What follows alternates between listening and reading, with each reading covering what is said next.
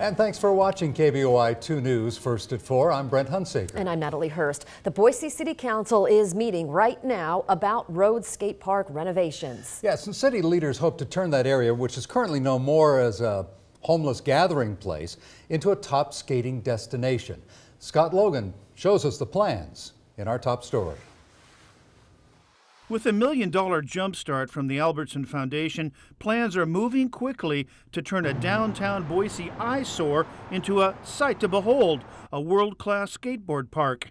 And the foundation is also donating some $250,000 for landscaping to complement the skate park's makeover.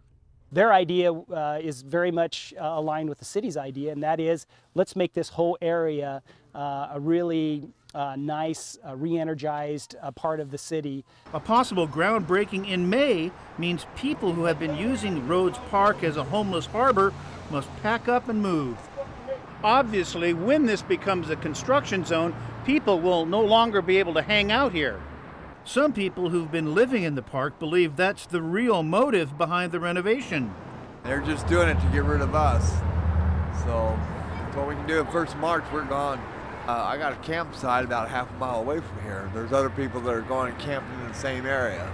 I mean, we're not supposed to, but where else are we going to sleep?